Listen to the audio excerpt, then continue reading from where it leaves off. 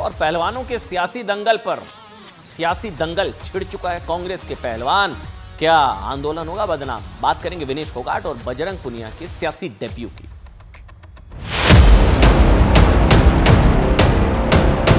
Congress party का मैं बहुत बहुत धन्यवाद करती हूँ क्योंकि जब बोलते हैं ना कि बुरे टाइम में पता लगता है कि अपना कौन है।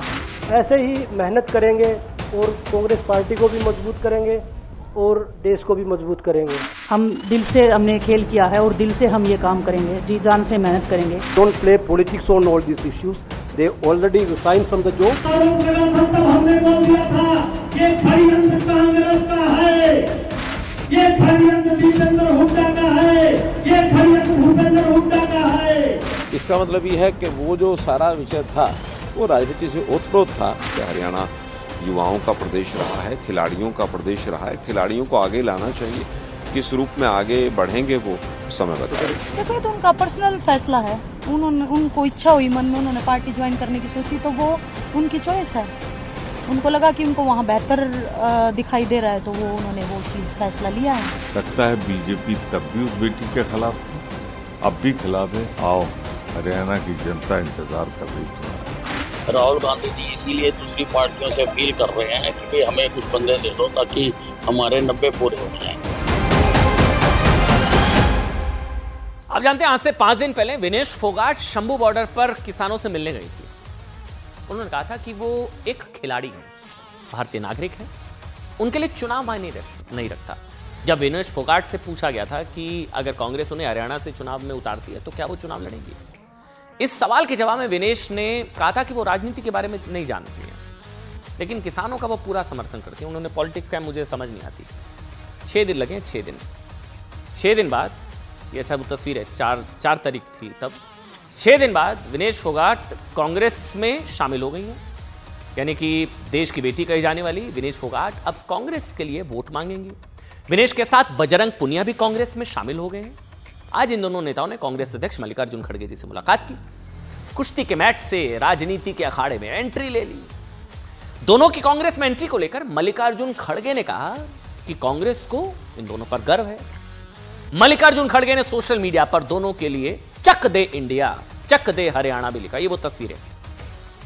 विनेश फोगाट और बजरंग पुनिया की कांग्रेस में एंट्री तभी से तय मानी जा रही थी साहब, जब दो दिन पहले दोनों खिलाड़ी राहुल गांधी से मिले थे। और उनके साथ फ़ोटो खिंचवाई थी। इसके बाद से ही कहा जा रहा था कि ये वो तस्वीर भी आपकी स्क्रीन पर। विनेश फोगाट और बजरंग पुनिया हरियाणा विधानसभा चुनाव लड़ने के लिए कांग्रेस में शामिल होने जा रहे हैं। राहुल गांधी से मुलाकात के बाद दोनों की सीटें भी तय हो गई थी। अब बताया जा रहा है कि चुनाव विनेश फोगाट जो हैं, वो लड़ सकती हैं, हालाँकि सीट को लेकर असमंजस अभी भी बना हुआ है। मतलब ये कहा जा रहा है पहले से तय था उनका कांग्रेस में आना। फिर भी विनेश कह रही थी कि भाई वो राजनीति की बात नहीं जानती उनके लिए चुनाव मायने नहीं रखता। लेकिन आज कांग्रेस का हाथ पकड़ने के बाद विनेश फोगाट ने क्या कहा? कि कांग्रेस उनके साथ बुरे वक्त में खड़ी रही और उनके आंसुओं को समझा। सुनाते आपको। नहीं पता पॉलिटिक्स का। मुझे मुझे मुझे पॉलिटिक्स का इतना नॉलेज नहीं है सच्चाई बता रही हूँ। कभी इतना उसमें डीप में गई नहीं हूँ। आप खेलों की पूछोगे तो मैं बता सकती हूँ। कांग्रेस पार्टी का मैं बहुत बहुत धन्यवाद करती हूँ। क्योंकि जब बोलते हैं ना कि बुरे टाइम में पता लगता है कि अपना कौन है। जब हम रोड पे घसीटे जा रहे थे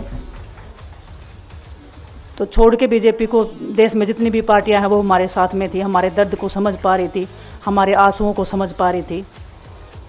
मैं बहुत प्राउड फील कर रही हूँ कि मैं एक ऐसी पार्टी में, एक ऐसी विचारधारा में हूँ, जो महिलाओं के साथ हो रहा अन्याय और उनके साथ बुरे बर्ताव के खिलाफ खड़ी है। देखिए, बजरंग पुनिया, विनेश फोगाट ने अब तक कुश्ती के मैट पर देश का मान सम्मान बढ़ाया, कोई डाउट नहीं है। लेकिन आज से क्या है, दोनों राजनीति के अखाड़े में उतर चुकी हैं।